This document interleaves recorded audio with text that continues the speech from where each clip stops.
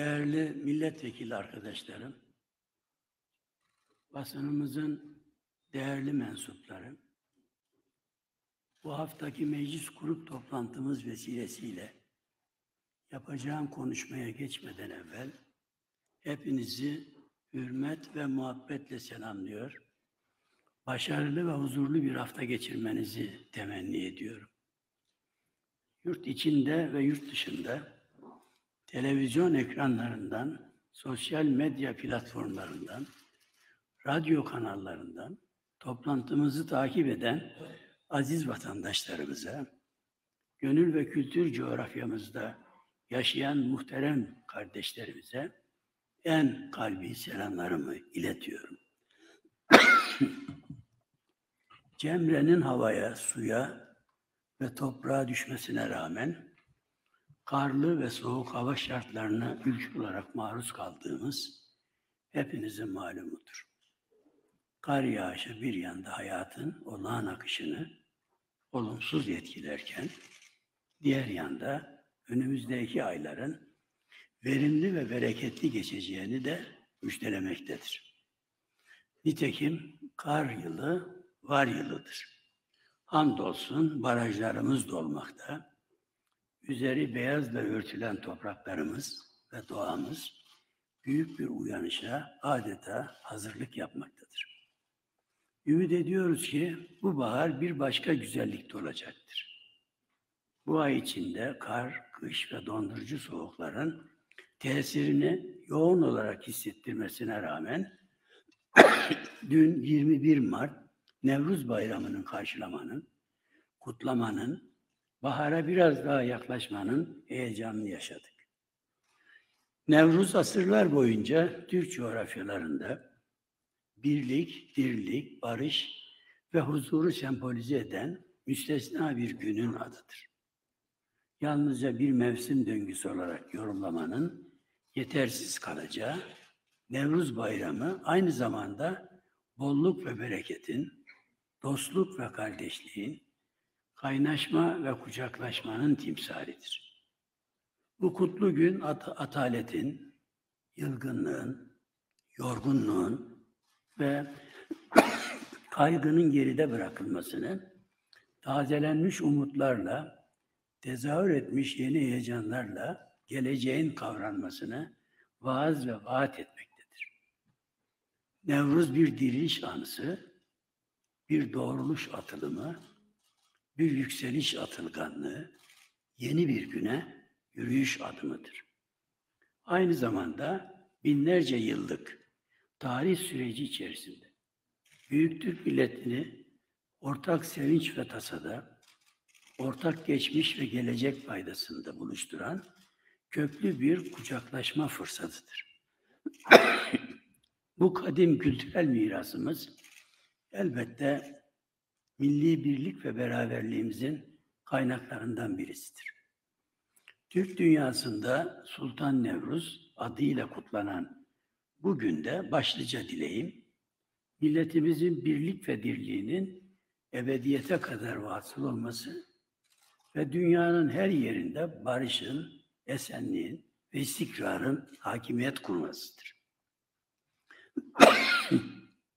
Türk milletinin hem ata hem de ana yurdunda baharın müjdecisi olarak özel ve önemli bir yeri bulunan Nevruz Bayramı taşıdığı derin anlam itibariyle demir dağları sabırlı, sabrı ve kararlılığıyla eriten bir millet varlığının Ergenekon'dan çıkışını ve müteakip asırlarda kademe kademe yükselişini ifade etmektedir.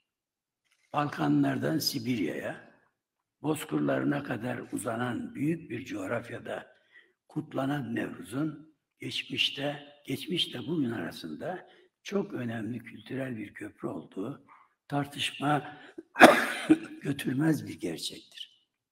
Yakılan ateşler, tutuşan eller, çarpan yürekler, neşe saçan gözler, gülümseyen çehreler, müşfik kalpler, reddedilen ihtilaflar, dışlanan kötü emeller, Nevruz'un kültürel dokusunu, tarihsel doğasını gözler önüne sermektedir. Doğudan batıya, kuzeyden güneye aynı inanç, aynı irade, aynı istekle bir araya gelen milli gönüller bu coğrafyayı vatan yapmış ve sonsuza kadar da var olacağımızı da cümle aleme ispat ve ilan etmişlerdir. Beraber ağlayıp birlikte gülen, bayram günlerinde yaz, tutulan dönemlere kadar her şeyi birlikte paylaşan aziz millet fertleri, inanıyorum ki hiçbir şart altında bölücü emellere geçit vermeyecektir.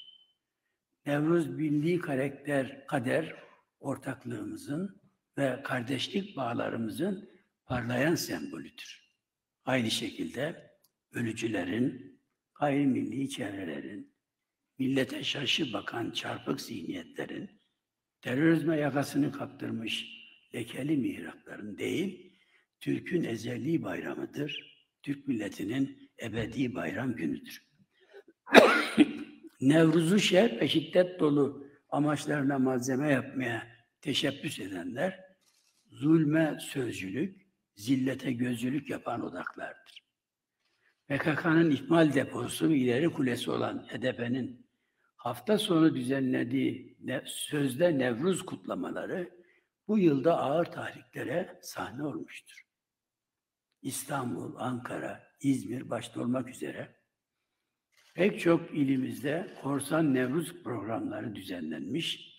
Bu kapsamda bölücüler, yasa dışı sol örgütler, devlet ve milletin amansız karşıtları yine fitne saçmışlar.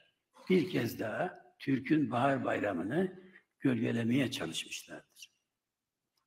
Gücümüzü birleştirdiğimizde bu düzeni değiştireceğiz açıklaması yapan HDP'nin bir eş başkanı boyundan büyük laflar etmekle kalmamış, bölücülüğün ve terörün sözcülüğünü yapmıştır. Kürt kökenli kardeşlerimizle Alevi İslam inancına mensup canlarımızı istismar eden, dahası Nevruz'dan nifak üreten kan içici vampirlere fırsat verilmeyecek, müsamaha gösterilmeyecek, kanunsuzlara göz açtırılmayacaktır. Bir CHP'nin terörist Demirtaş'a barış insanı demesi, önümüzdeki günlerde Türkiye Büyük Millet Meclisi'nde olacağını söylemesi, bulanık ve buhran içinde kalmış bir zihnin hezeyanıdır. Bir teröriste barış insanı demek, evvela barışa ihanettir. Teröristin yeri Türkiye Büyük Millet Meclisi değil, demir parmaklıkların arkasıdır. Kavga ve kutuplaşma meraklıları her zaman kaybedecektir. Türk milleti Nevruz'la birlikte yeni ve umut dolu günlerin geleceğine inanmış ve bu kültürel emaneti bugüne kadar korumuş ve yaşatmıştır. Bilinmelidir ki bundan sonra da yaşatacaktır. Nevruz, büyük Türk milletinin hürriyet ruhunun kabararak taştığı, dar bir alandan çıkarak kıtaları yönetmeye talip olduğu kutlu Ergenekon ateşidir. Bu ateşin hiç sönmeden milletimizin istikbalini aydınlatması gönülden dileğimdir. Çok geniş bir coğrafyada varlık mücadelesi veren aziz milletimin ve tüm vatan soydaşlarımızın Nevruz Bayramı'nı kutluyor. Hepsine birden sağlıklı, huzur dolu ve başarılarla geçecek bir ömür diliyor. Kış mevsiminin arkasından bahara kapı aralayan bu yeni günün, barışın ve kardeşliğin habercisi olmasını umuyor. Türk milletinin tam bağımsız bir halde kıyamete kadar baki kalmasını, her zorluğu aşmasını Cenab-ı Allah'tan niyaz ediyor. Değerli milletvekilleri, Çanakkale deyince akla gelen ilk husus kahramanlığın ehli salip karşısındaki şanlı direnişi, imanın çeliğe ve teknolojiye karşı zaferidir. Aziz ceddimiz Çanakkale'de milli hafızadan asla çıkmayacak bir destan yazmıştır. Bu destan dilden dile anlatılıp nesilden nesile aktarılarak bir ibret, bir iffet, bir iftihar, bir itibar vesikası halinde tarihe mal olmuştur. Zaferimizin 107. yıl dönümünü karalamak maksadıyla Atatürk'süz Çanakkale diyenlere sesleniyorum. Anafartalar Komutanı Yarbay Mustafa Kemal en az diğer kahramanlarımız gibi Çanakkale'nin her yerindedir. Her zerresindedir. Her köşesindedir ve bizim de şeref payemizdir.